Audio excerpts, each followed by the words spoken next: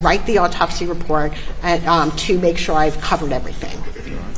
And will this assist you as we, uh, as you explain to the jury the injuries that the two victims suffered? Yes. Um, Dr. Riemer, uh, let's again starting with Paul. If you could very quickly, how many um, did you observe any gunshot wounds uh, to Paul? Well, actually, there were two shotgun wounds, um, so that's different than a, a, you know a handgun or um, so a shotgun is uh, where there, uh, you know, there's uh, basically um, um, pellets that are um, enclosed in a wadding, and the wadding, um, after it's fired from the shotgun, um, kind of opens up and allows all these pellets um, to be released from the wadding. And so um, the features of his injuries um, told me in no uncertain terms that he was shot with a shotgun. And let's, if I could ask you with the court's permission, if you could step down. I'm going to hold up this board, and if you could bring a marker with you, I've got a red Sharpie right here if that helps you.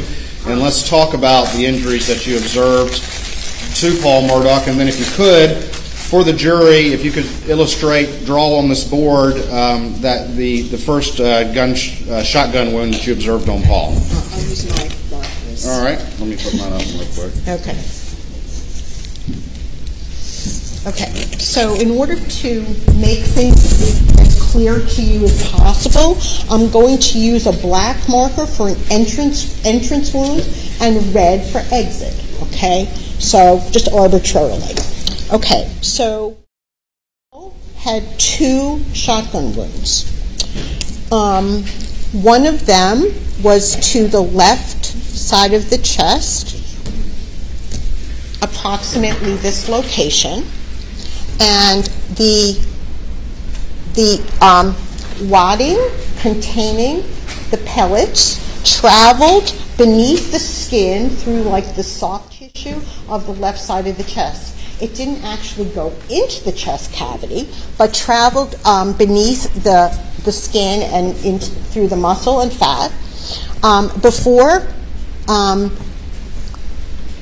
exiting the left region. Okay, so it's kind of a straight, kind of left to right, uh, I'm sorry, right to left shot. And um, And just real quick, when you say right to left, you're talking about Paul's right to yeah, left. that's right. So I'm always thinking about like the patient's right to left. Okay, it's not. If we look at it, it's from you know would be from left to right. But I always we always for consistency, it's always relative to his body. Down here by the hands, could you put an R on one side and an L on the Yeah, other, just sure. because I know I get confused? Yeah, no, it is. And honestly, we, we all do this during autopsies as well, because especially we have the back, and, and um, it's very easy to make a mistake. And also, just real quick, could you write Paul up at the top there? All right, thank you. All right. Okay. All right, so you were talking about that first shotgun wound to the chest and where it exited. Were there any other injuries associated with that? Please continue on. Um, yes, so the, the, remember we have wadding enclosing pellets. The wadding actually um, got stuck, you know, didn't completely exit and continue to fly out. It got stuck right underneath the skin um, of the left side of the chest, like close to the armpit area. And uh, we have a photograph of that um, pink wadding that um, remained um, in the skin of the exit wound.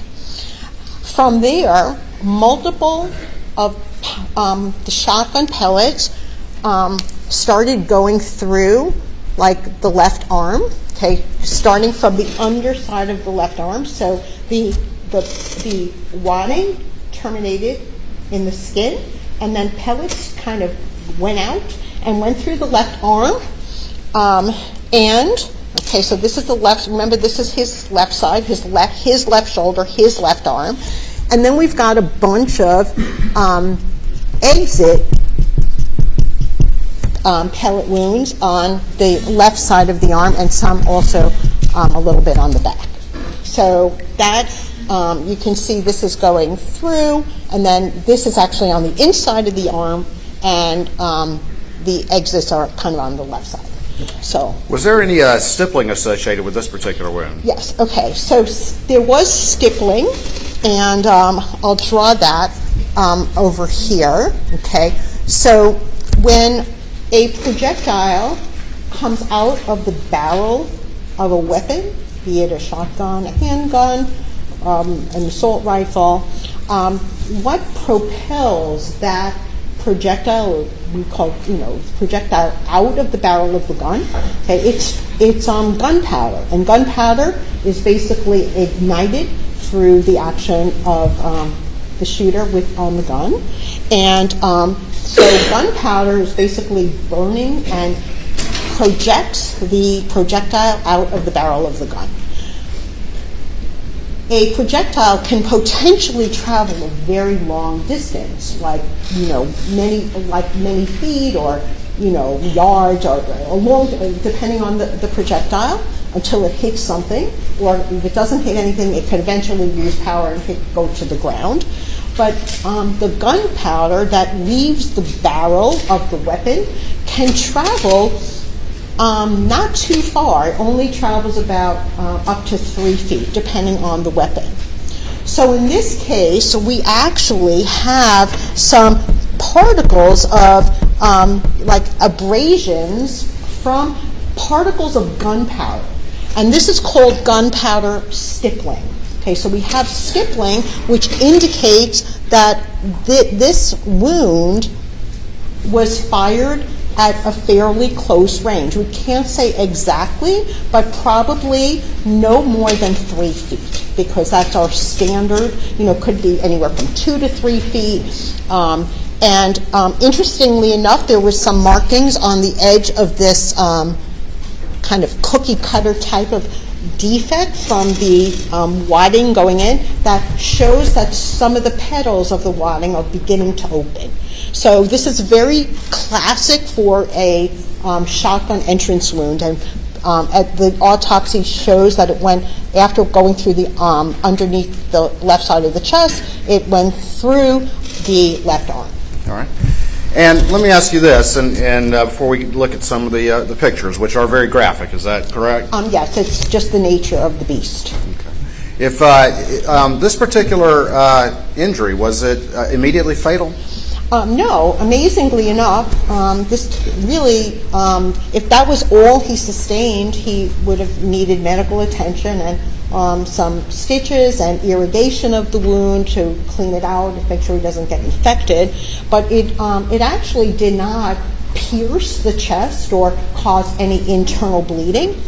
It did, however, cause a bruise or contusion of the left lung, and that's because you know the um, there's a lot of energy associated with this, um, but didn't actually go through the ribs, um, but caused a contusion of the left lung. But he would have been expected to be continue to be standing after this. It would not have sent him to the ground. All right. Um, if you could, there's a dowel stick over by um, your your witness stand, and I'm going to make sure the jurors down here could see what you're talking about. If you could grab that for me real quick, and then uh, we'll look at uh, some of the pictures here. Okay, what do you want me to do? Well, I just wanted to show it to these jurors down here, just to make sure Oh, they could see sure, what you were okay. doing. And uh, Okay.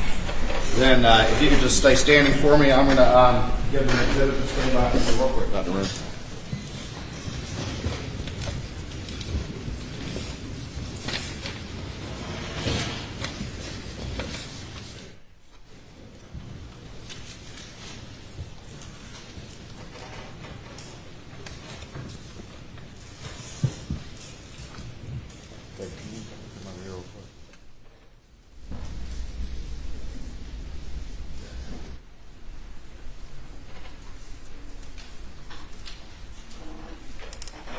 All right, Dr. Riemer, if you would be very careful to keep these pointed this way if you could, but I'm going to have you just look through states 478, 479, 480, 481, and 482 and see if you recognize those images. Okay. Um, so these are um, photographs. And just real quick, just tell me if you recognize them. Um, yes, I, I recognize mm, all of them. All right, and these images that were taken during the autopsy you conducted of Paul Murdaugh? Yes, All right, and would they assist you in explaining the injuries to the jury? yes. All right, Your Honor, this time I've moved states 478, 479, 480, 481, and 482 into evidence. No objection, Your Honor. Admitted without objection. All right. Now, Dr. Ream, if you get the dowel stick and come around here to this screen, I'm going to put this first image up on the uh, Elmo, and then if you could, we'll, we'll talk a little bit about these injuries and describe the injuries. Okay. So, um, we can see, um, it's not great focus here, but um, this is the entrance uh, shotgun wound on the left side of the chest. His, his left nipple, his left nipple is over here, so it's the left side of the chest. And there is some stippling And around Dr. it. Dr. Rumer, I apologize. Okay. If you could come around and work this way so that all our jurors who Oh, are that way can, absolutely. can see. Okay. Awesome. All right. So um, the uh, shotgun um, wound is going in this direction. Remember, it exited that left side of the chest and then continued through the left arm. Um, so that is a photograph of that wound to the shotgun wound to the chest. All right. And we'll see uh, some more close-up images here in a minute, but uh, this is the entrance wound right here, is that correct? Yes. And then we have, we have some injuries right here. Is that where those Yes, petals exited That into the arm? That is where the, um, yes, the, um, uh, the wadding, which is the plastic piece enclosing the pellets, um, terminated in the skin. It just didn't manage to get out. But all those pellets kind of got released from the wadding and went through um, the left, the left arm. I'm going to move, that was states 478 for the record. I'm going to move now to states 479. And what is this, this image? Okay, so this is a more close-up view of um, the entrance wound, and um, you can see that it looks like there's little, um, like s- almost squares or pegs sticking out uh, of the edge, and um, that tells us that um, the wadding is starting to open because it opens up, it kind of opens up, there's petals, and this is a classic. I, I could put it in a book to say that this is um, consistent with um, a uh, shotgun entrance wound. Okay, and we can see the dots around here. Those are from pieces of, um, of gunpowder that have basically impacted the skin because it's within a distance of three feet or so.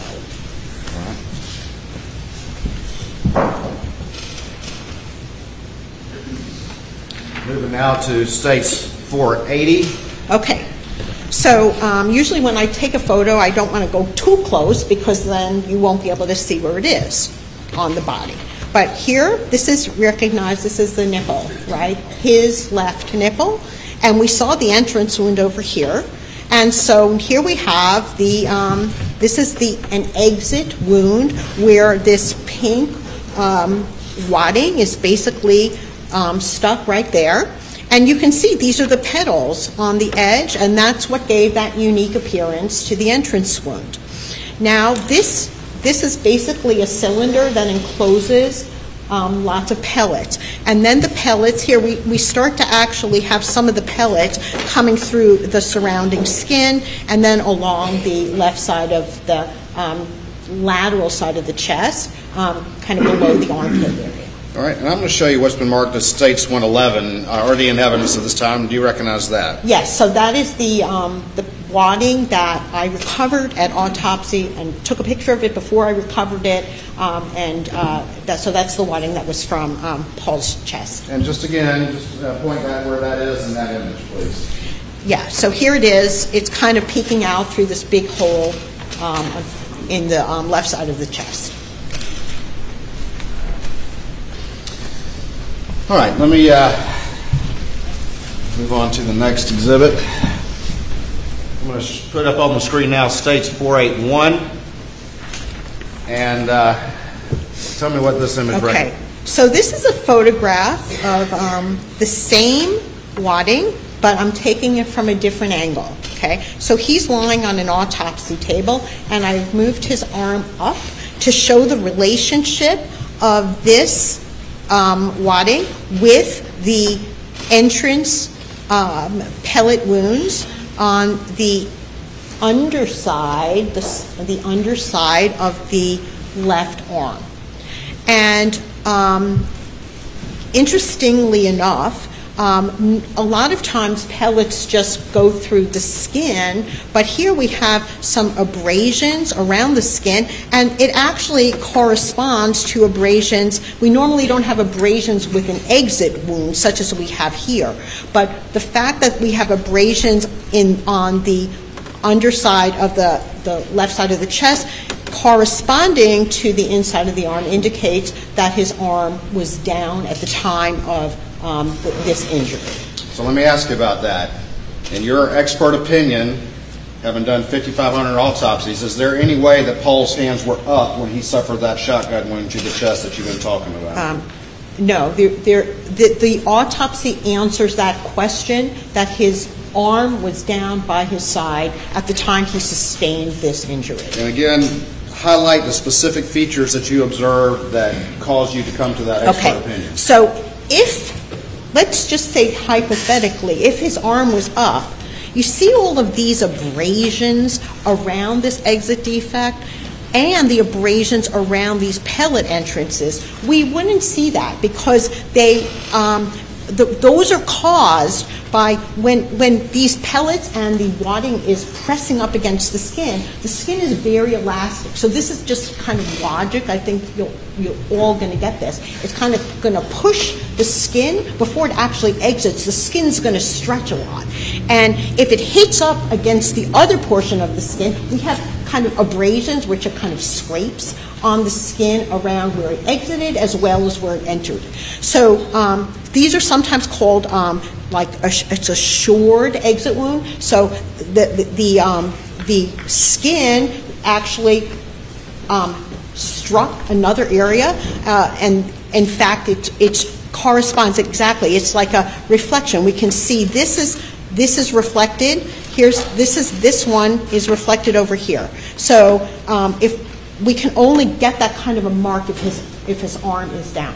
Now this is the kind of thing that you know is it's it's a, the logical conclusion, and I'm confident that that was was the position of his arm at the time he was shot. And this is based on my training and more than 20 years of experience doing these um, cases. All right, let me uh, look at the next exhibit, which will be 482 for the record. And tell us, uh, tell us what you see Okay. here, and also, if you could, how that also uh, supports the conclusions you were just talking about to the Yes. jury. Okay, so these are um, the exit pellet wounds on the outside of the arm in this area, right? So this is kind of like his armpit here. And we can see these are kind of just, these pellet exit wounds don't have the kind of abrasions around it. This is just kind of finding its way through the skin. And then this one is over here. So, and if the further the pellets travel, it kind of splays out. So um, after the pellets um, leave the wadding that is open, it's it, there, there's spread. So, um, but these are um, you know exit um, pellet wounds, and we don't have the kind of abrasions to suggest that his arm was pressed up against anything at the time that those pellets exited. All right. Um, one other thing as well is uh, when talking about his arm being down, of course, the wadding stopped in, in that wound still in his chest, correct? Yes. Okay. All right. Uh, let me, uh, let's move on. Just give me uh, one second here to get some other exhibits and show them to defense counsel.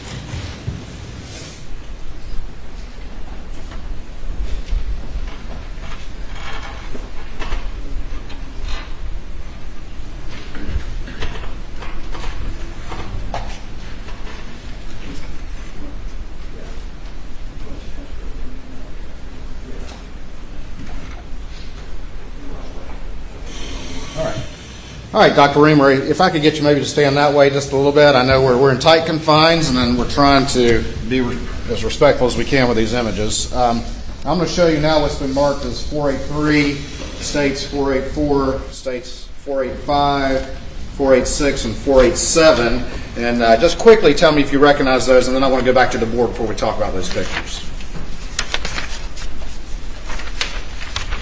Yes, I recognize these. All right, and those uh, autopsy photographs that you took of Yes. Paul Murdaugh? These are photographs that I took at the autopsy of Paul Murdaugh. And would they assist you in explaining to the jury the injuries that he suffered? Yes. Your Honor, this time I'd move states 483, 484, 485, 486, and 487 into evidence. No objection, Your Honor. They are admitted. Um, And Your Honor, I think um, all these exhibits, both he and I, ninety percent of them that we're introducing will be under seal. Yes, sir. And, and for the record, I, these, these are under seal, and I provided the cover sheets to the court reporter. Every exhibit except for the uh, poster board that we're doing, uh, the state would uh, request to be under seal because of their graphic nature. All right, uh, Dr. Riemer, let's, uh, that was, uh, and we'll come back a little bit more to that first injury, but there was a second shotgun injury as well. Is that correct? Correct. All right, and uh, I'm going to go back to States 500, which is the poster board, and if you could uh, explain to and draw on this uh, this um, diagram that second injury, and then Okay. we'll look at the pictures. So there was a large shotgun wound defect to the top of his left shoulder. And um, there were lots of pellets recovered in the left shoulder area. And from there, the um, it kind of just went across the top of the left shoulder and then went into the left side of the neck and face. Okay, and from there, his face actually was not destroyed from this, but there's a big exit wound on the top of the right side of the head. So this wound went from his left toward his right and upward and with a slight front to back deviation. Now, what does that tell us? We don't really know. It's kind of going um, toward, it, it's sparing his face, it's going behind the face. Now, one thing that makes sense to me, how could that happen? If he was just standing, not everybody gets shot like standing like these diagrams, right? But if he was shot and his face was forward, it would have taken off a lot of his face. However, if he is turned toward the shooter, then it's going to go into the face here and go out towards the right back of the head. So to me, it makes sense that his head is turned to the left. Um, not necessarily completely, but partially turned to the left. And um, what happened here was an extremely severe, immediately fatal injury, because what it did was that after it went through um, the left side of the neck and face, um, it our brain is basically held up through um, the skull. So we have bone at the top of the skull, but then we also have a bone that kind of holds up the brain. It went through the base of the skull, okay, which is kind of like in this area, the, the brain is up there. And this um, wound, actually, his brain um, was ejected out of the top of the right side of his head and actually arrived at the autopsy in a separate bucket. So this, the force of this wound um, actually pushed his, the brain out of his head. There was only just a small piece of brain remaining, and that's the brain stem that was attached to um, the spinal cord. All right, and, and real quickly, uh, going back to the, the first wound to the chest, if Paul was standing when he suffered that, could he have remained standing after suffering that wound? Yes. All right. The second wound, the one that starts in the shoulder and goes in here and then out the top of his head, what would have been the effect of that wound? That would have been immediately fatal, and he would not have been standing. He would have just fallen to, fallen to the ground. All right, and would he have been capable at all of bracing his fall or anything like that with, an, with a catastrophic injury like Uh, that? no, that's instant, instantaneous death. All right. Did you notice any abrasions on his face or anything like that? Yes, he did have, um, and it's depicted in the, one of the photographs. Um, he does have a kind of a scrape on his face, um, and um, very frequently scrapes on the face that have they have a sli- it has a slight directionality. It's consistent with a terminal collapse. So if he's hitting the ground with some movement, there's frequently kind of a linear pattern. And you know, the, all of this really makes sense um, when once you see these things, you can understand that if somebody is going to fall with um, like you know the force of their body and not they're going to hit their face on the ground, and we get some abrasions that correspond to that. All right. And uh, let me do this real quick. If you could grab that dowel stick for me, and I'm going to make sure the jurors down here had a chance to see what you've been drawing. Okay. So that's the shoulder right Yeah. there, and then Yeah, I should have made a red mark here to be consistent. This is the exit wound on the right side of the top of the head. And the brain came out of, of that exit. Well, You you mentioned a little bit about being consistent with Paul kind of having his head tilted to one side. If you could use the dowel stick, maybe use me as an example and, and show me kind of what you're what you're talking about. And you Okay. position me however you want to. Yeah, So okay. Let's, let's go out here just a little So bit. Yeah. to start with, like a different idea, okay, in, in order to understand how that's the case. So um, if a, a shotgun wound is entering the top of the left shoulder, and let's say his head is turned like that, it's going to go right through the face, right? But if his head is turned like that, it's going to spare the face and be able to go behind the face. So if somebody's just standing looking straight ahead, it, this most likely would have done a, a lot of damage to his face. But the fact that um, the face is remained intact tells me that his head was, um, I don't know, up or down, but his head was facing in the direction from where um, the, um, the shotgun was um, being fired. And then the injury to the shoulder would have been where? If you just point with this. Yes, so uh, uh, uh, it's kind of on the top of the shoulder. This also did not injure his chest cavity. It kind of went through a lot of the, the skin and muscle and, and fat of the left shoulder. And there were, um, there, there were a lot of um, pellets that were recovered from the left shoulder area as well as um, the head and neck.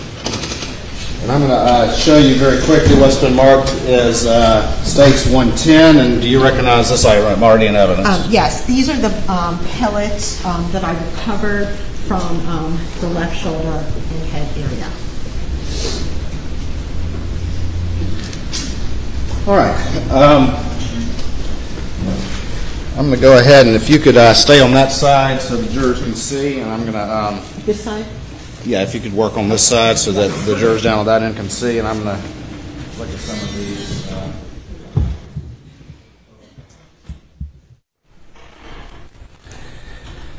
all right, and I'm going to show you uh, first what's been marked as states 483, and can you tell me uh, what uh, what's on this particular image, particularly as to some of the things you were just describing as to the abrasion and things like that? Yes. So um, we can see this is basically an abrasion is a fancy word for scrape. So there are scrapes on the right side of his face.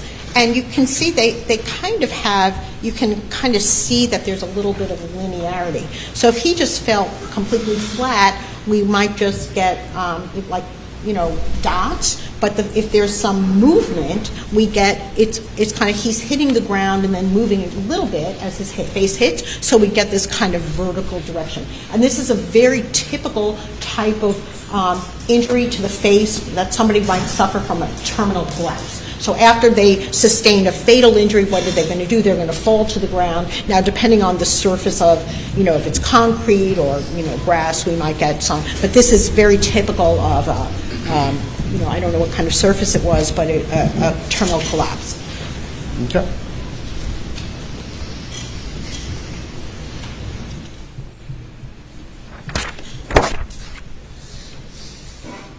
All right, if you would, uh, with this image, and this would be stor- states 484, uh, please explain to the jury using this image some of the concepts that you've been describing to them. So this is the top of his left shoulder, and um, this is the continuation of the um, ammunition through the left side of the uh, lower face. And um, from there, it proceeded behind the face through the base of the skull and exited the right side of the top of the head. And sort of toward the back of the right side of the top of the head. And those two sort of together, they are, that's kind of what you're describing for when you had positioned my head in Yes. the manner in which you Yeah, did. that's right, so my feet turn to the left like that. I think that makes the most logical sense, and forensic pathology is really logical. So when we look at these things, we have to think, well, how could this have happened? And, um, you know, um, after the, uh, it- it's not always immediately obvious, but, you know, with some thought, we can um, come to these conclusions with confidence. Turning now to States 485. So it's just another perspective. Um, Yes, so this is the same um, injury. This is, is formed by a single, um, a single piece of ammunition here that went through the top of the left shoulder, it tore it up, right? And then went into the left side of his face and neck. And some of these pellets also damaged, did a lot of damage in the neck because they kind of splay out as they go further and it went, some of them went actually through his airway and other structures of the neck, um, as well as continuing um, through the base of the skull and um, propelling the majority of the brain out the right side of the back of the head.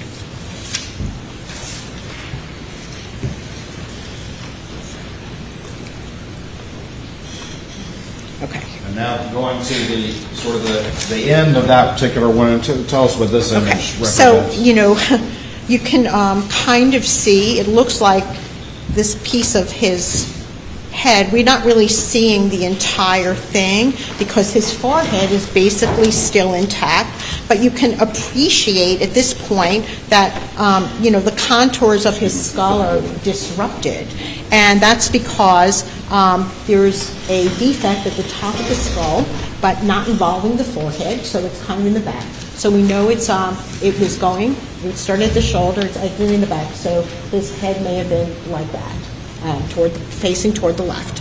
Um, record, that was States 486, and then finally States 487. Okay, now this is, um, all right, um, so this is, um, I can't, Yes. sorry for me to see what I'm doing. It's but- okay. Yeah, so this is actually a a photograph of um, the right side of, this is, this is his, um, the face area, okay? And I know that because I usually, when I take a photograph of of the number, um, I usually have it like right side up, okay? So this is um, the top of his head, and this is... Dr. Riemer, I apologize. No, yeah. Do it um, like that. Yeah, that might be a that's little good, better. right. So now you can sort of see, this is the right side of his head, and it's horrible, I know. Um, And there's a big defect there. And um, we can see the inside of the skull, and, but, it- you know, his face was spared, so.